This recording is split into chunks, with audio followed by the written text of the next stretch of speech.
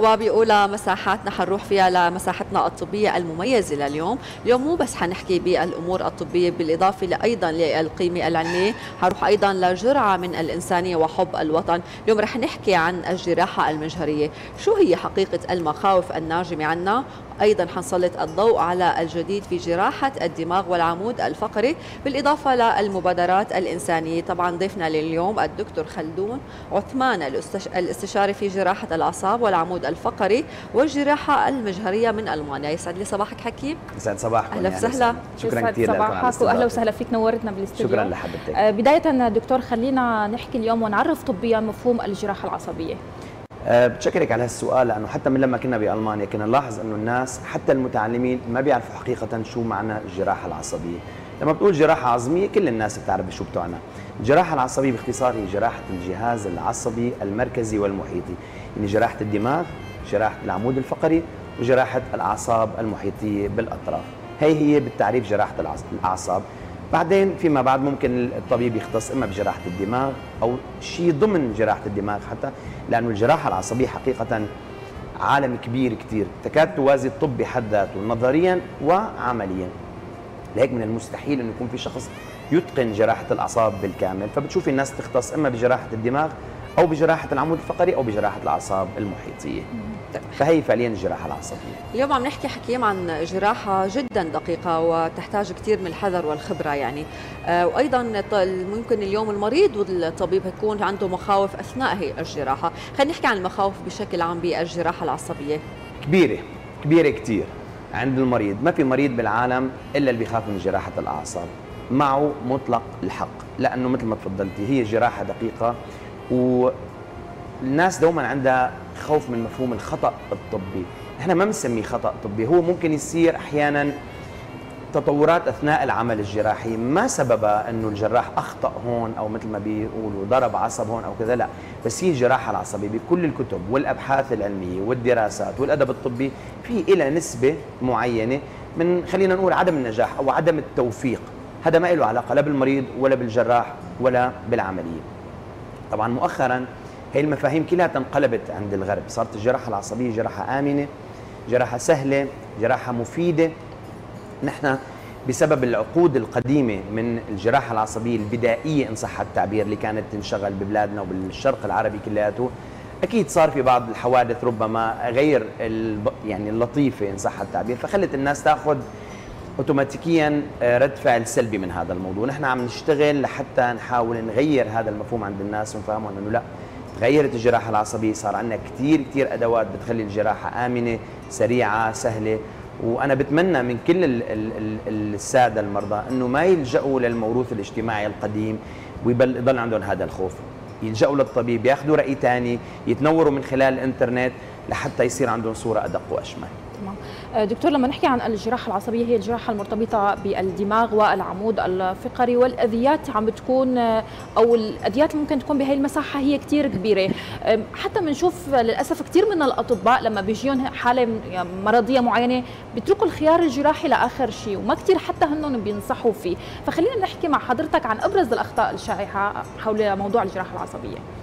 أبرز الأخطاء الشائعة بين الناس إنه كل جراحة عصبية ستؤدي إلى الشلل.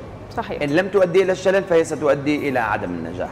هدول خطأين شائعين وأنا رح حارب شخصيا بكل قواي لحتى أغيرهم وعم حاول أشتغل وأنا لهذا السبب أنشأت من حوالي سنتين صفحتي الطبية على الفيسبوك لحتى أحاول إني أرفع قدر الإمكان مستوى الوعي الطبي.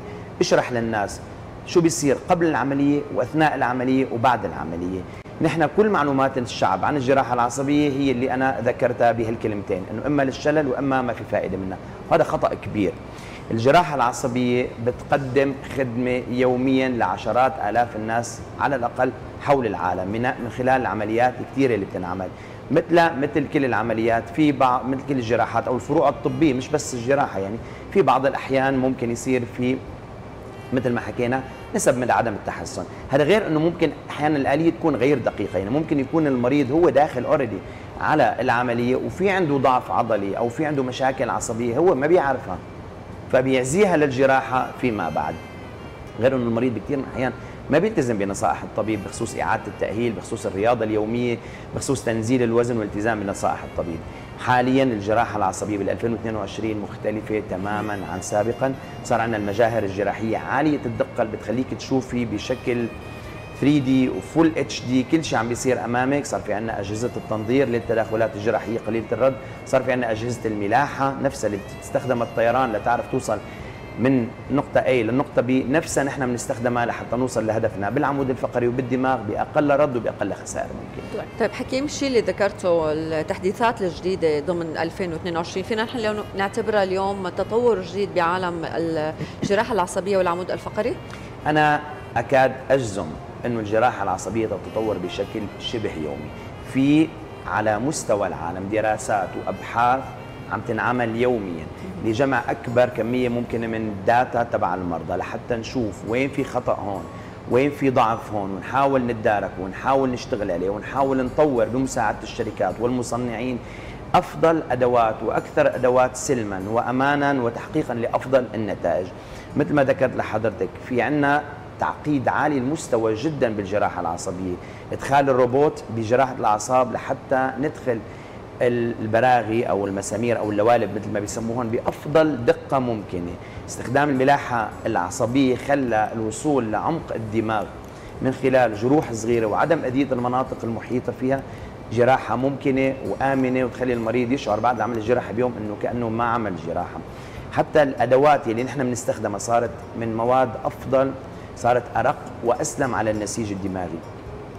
والكثير كثير من آه، آه، من التطورات والأدوية حكيم اليوم في شيء تطور بالأدوية؟ الأدوية العلاج الكيميائي والعلاج الشعاعي صار مختلف تماما. صارت أعراضه الجانبية أقل.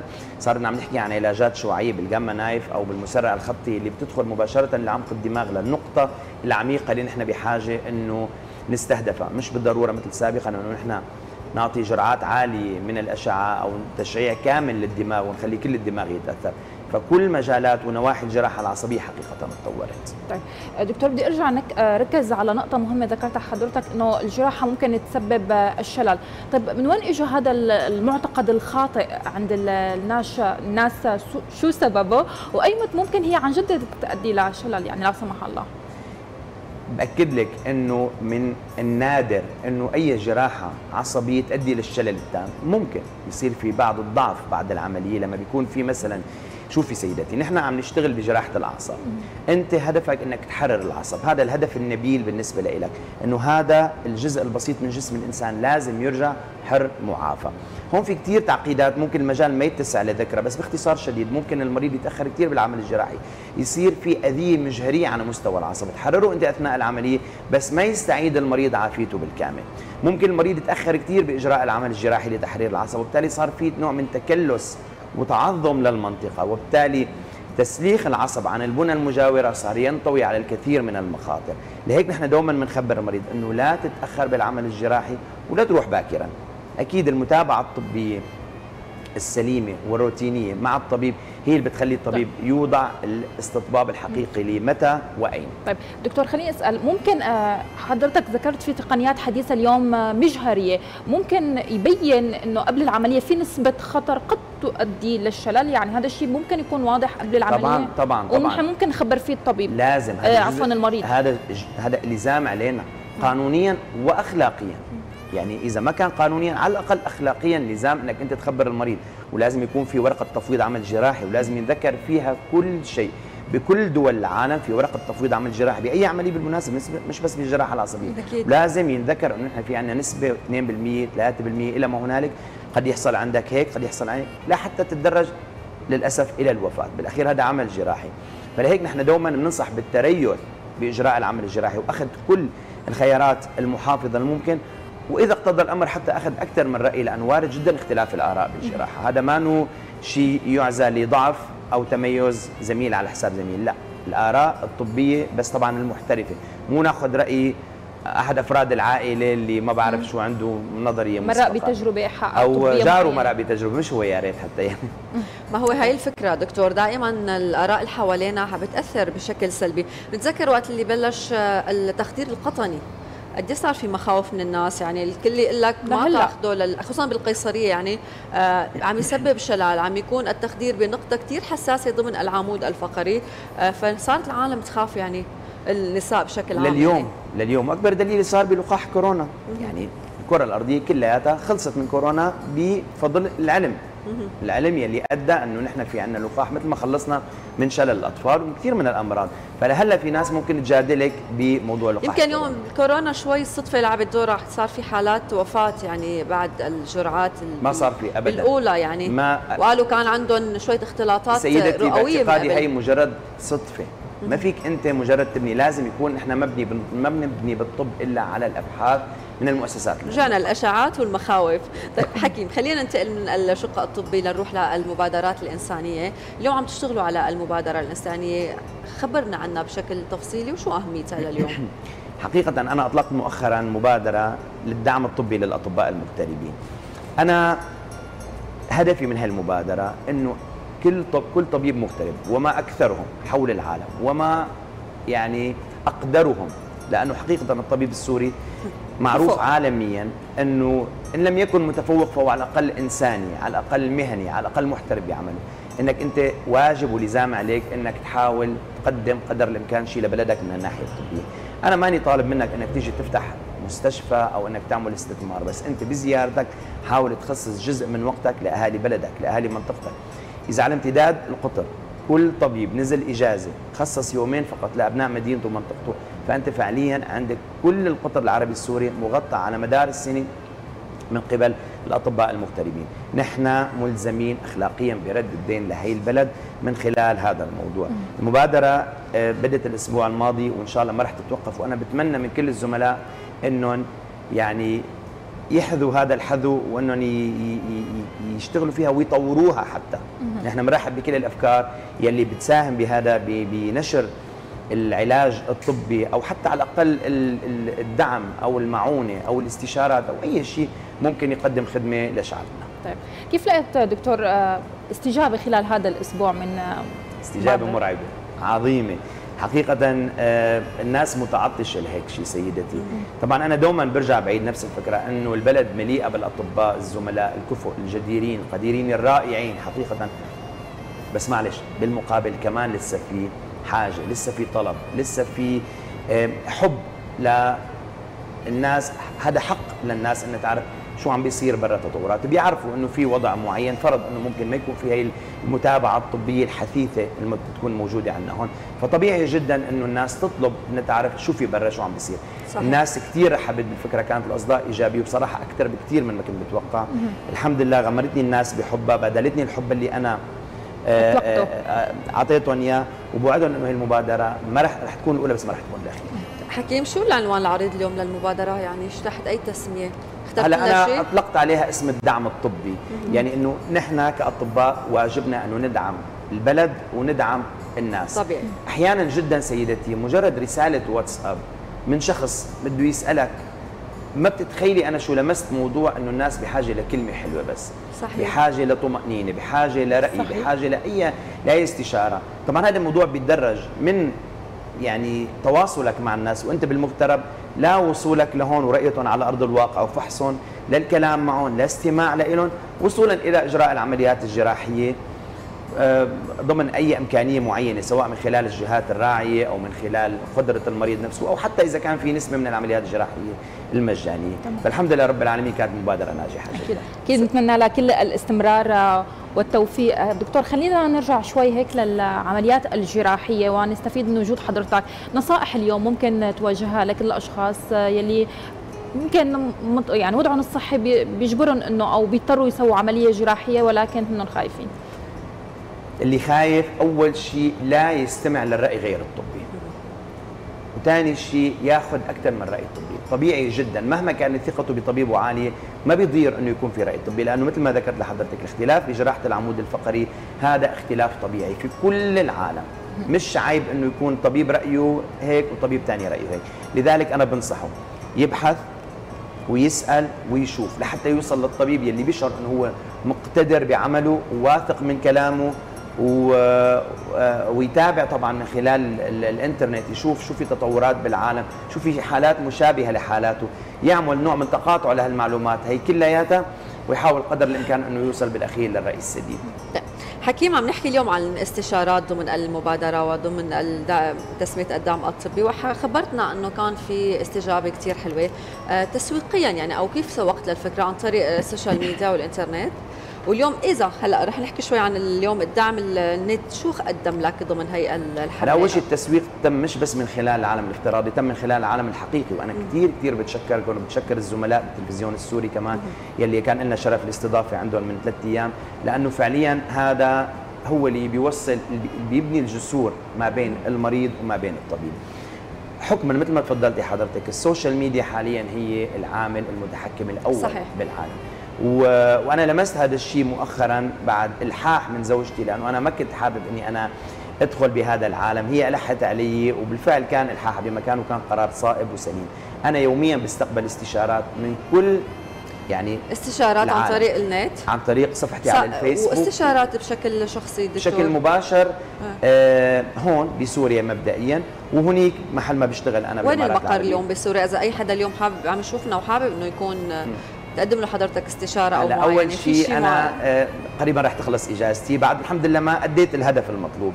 آه خلال إن شاء الله ثلاث شهور رح أرجع لهون. أنا حاولت يعني أنا بدأت بمدينة جبلة وبانياس. حلو. كانت الاستشارات فيها مجاني والحمد لله قدرنا نشوف حوالي 250 مريض ويعني بنتمنى نكون إنه رسمنا البسمة على وجههم. حلو اليوم إنه مو بس بدمشق يعني عم تكون جوال أنا كنت بجبله وببانياس. أنا من سكان اللاذقية وبالأساس أصلي من جبلة وبانياس. فطبيعي إن أنا يكون بالأساس عطائي لابناء ضمن أبناء منطقتك. تماما. وانتقلت إلى دمشق. ما حدا بيعرف ربما الزيارة القادمة تكون بحمص بحلب بالمنطقة الشرقية بأي مكان.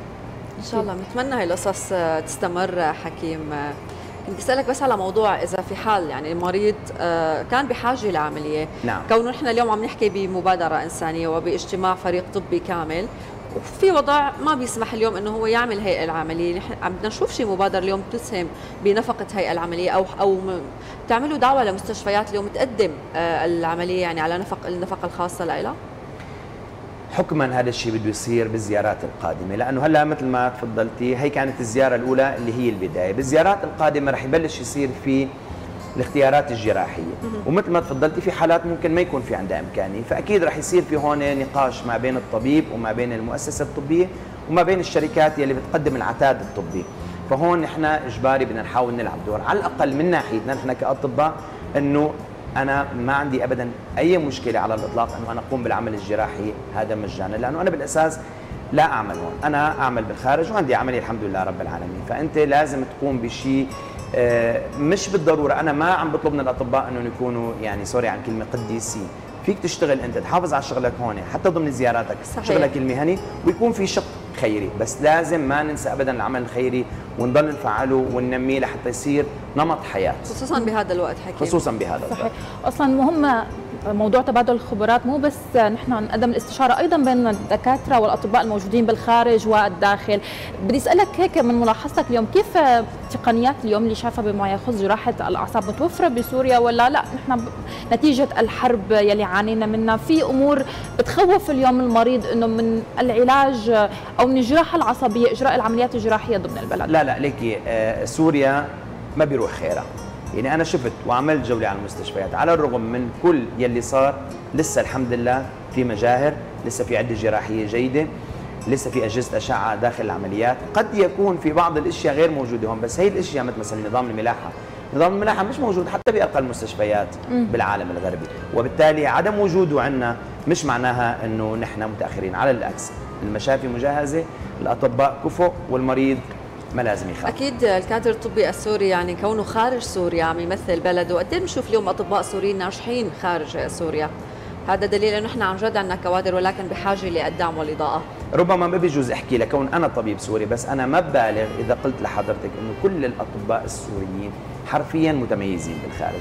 إن لم يكونوا متميزين رح يكونوا محبوبين إن لم يكونوا محبوبين رح يكونوا خدومين. فالطبيب السوري حقيقة عم بيكون خير سفير لبلده. إن شاء الله بنشوفكم على طول بخير ونشوفكم دائما تسلم. متألقين. شكرا. بدي أتشكر حضورك لليوم الدكتور خلدون عثمان الاستشاري في جراحة الأعصاب والعمود الفقري والجراحة المجهرية من ألمانيا. سعد صباحك ونورتنا أكيد. سعد صباحكم. شكرا أهلا وسهلا فيك دكتور وشكرا لوجودك معنا. أما هلأ